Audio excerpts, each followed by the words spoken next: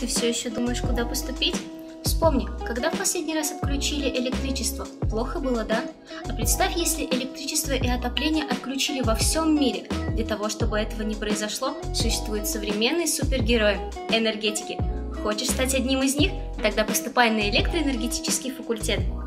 Наши студенты – одни из немногих, кто работает летом по профилю, а не раздают листовки. Да, ведь на нашем факультете созданы студенческие отряды «Зевс», «Энергостарт», «Калибри», которые работали на Всероссийской студенческой стройке «Мирный атом» в Челябинской области, а также на базе филиала крупнейшего в России и мире энергетической компании ПАО «Россети» Оренбург-Энерго. На факультете царит очень дружественная и сплоченная атмосфера. Все ребята знают друг друга в лицо, и этому способствует свой отдельный корпус, благодаря которому тебе не нужно будет проходить 7 кругов ада, чтобы найти нужный кабинет, ведь все находится в одном месте. Выпускники направления энергообеспечения предприятий квалифицированно решают вопросы, связанные с производством, трансформацией и потреблением тепла, обеспечивая функционирование промышленных предприятий. Хочешь нести людям тепло? Тогда тебе к нам.